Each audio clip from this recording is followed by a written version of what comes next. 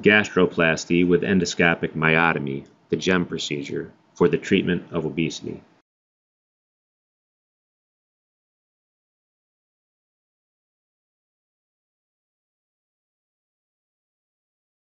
Digestive physiology is critical to the understanding of endoscopic, bariatric, and metabolic therapies, and gastric motility is of particular importance. This involves three main elements storage, which is accomplished via fundal accommodation, mixing, which serves to churn and break down the food into chyme, and emptying, which is accomplished by the antral pump function. Gastric interventions used to treat obesity are thought to work in part by interfering with the digestion of food and typically alter gastric motility. On the left, we have an example of the original POSE gastric plication procedure, which targeted fundal accommodation in an attempt to trigger earlier satiation. Intragastric balloons are thought to work by affecting both accommodation mixing and lead to a delay in gastric emptying. This is similar for endoscopic sleeve gastroplasty, and other devices are thought to target emptying via the antral pump function. We propose a novel procedure that affects several aspects of gastric motility in an effort to produce greater and more durable weight loss. Gastroplasty with endoscopic myotomy, or the GEM procedure, involves a pylorus-sparing antral myotomy via a submucosal tunnel, a running suture or belt to separate the gastric body from the antrum, and an endoscopic sleeve gastroplasty of the gastric body. On the left, we have an illustration of normal gastric physiology with storage of food via fundal accommodation, mixing and emptying via the antral pump. On the right, we have the goals of the GEM procedure, showing limited accommodation, reduced mixing, and impeded emptying. Next, we present the case of a 42-year-old female with class 3 obesity who presented for possible endoscopic therapy. Prior weight loss attempts, including lifestyle modification and medications, were not successful. Weight at the time of presentation was 236 pounds and her BMI was 46.1, and she elected to undergo the GEM procedure. Pre-procedure upper endoscopy revealed normal gastric mucosa and a mildly J-shaped stomach. There were no contraindications to the procedure. A submucosal injection is performed just distal to the incisura along the greater curvature. A horizontal incision is then made to gain access to the submucosal space.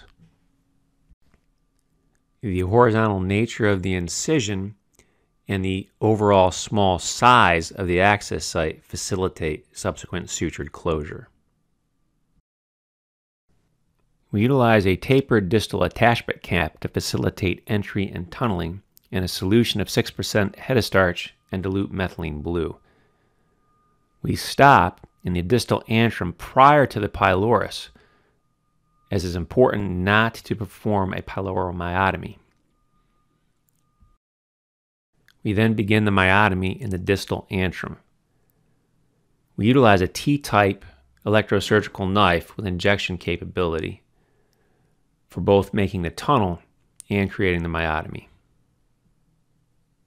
Here we are creating a partial thickness myotomy of the circular muscle moving from distal to proximal along the greater curvature. The myotomies are typically rather long, with this myotomy extending roughly 6 centimeters in length and ending approximately 2 centimeters distal to the access site. The myotomy can also be performed in a proximal to distal fashion, however we find this approach more efficient.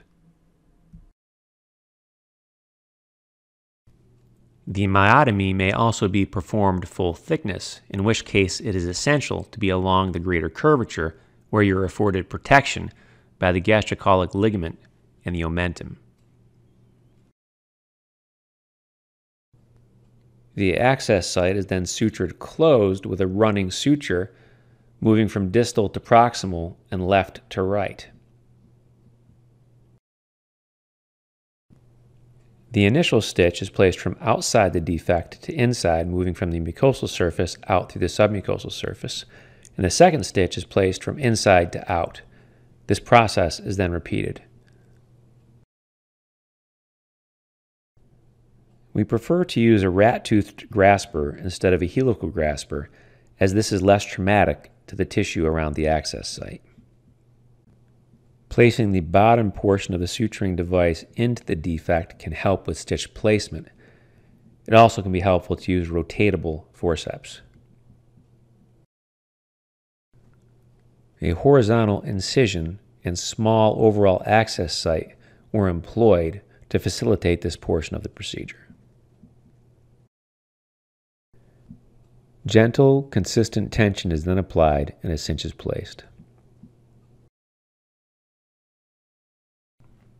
During the next portion of the procedure, a running suture is placed at the level of the incisura, moving along the greater curvature and onto the posterior aspect of the stomach.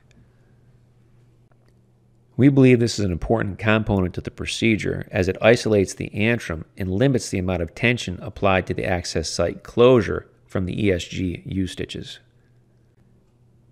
It's also important to guard against overinsufflation and to maintain a soft stomach during suturing, as this helps with the acquisition of deep full thickness tissue bites and also protects the access site closure from potential disruption. A total of seven to nine stitches are typically placed in this distal belt, and it is secured with strong tension. This also serves to further isolate the gastric antrum from the body. Finally, an ESG is performed in the gastric body using an alternating U-stitch and interrupted reinforcing suture pattern. This serves to both shorten and reduce the width of the stomach. Final endoscopic evaluation reveals a tight sleeve in the gastric body,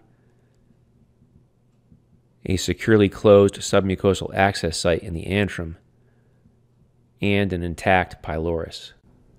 We're also using a processor that detects mucosal oxygen saturation, and this reveals relatively low saturation in the tissue overlying the tunnel and at pressure points along the gastric plications. Here we see the baseline upper GI series on the left and the two-week follow-up on the right, which showed a narrowed gastric body and reduced antral motility.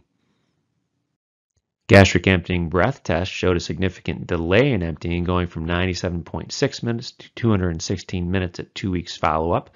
The GCSI remained normal, however, with a doubling in the postprandial fullness and early satiety subscale, and her weight went from 236 pounds to 211 pounds, representing 10.6% total weight loss in one month.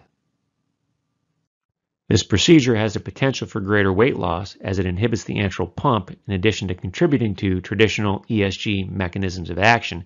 It also has the potential for more durable weight loss as myotomy may be more durable than suture-based gastric remodeling.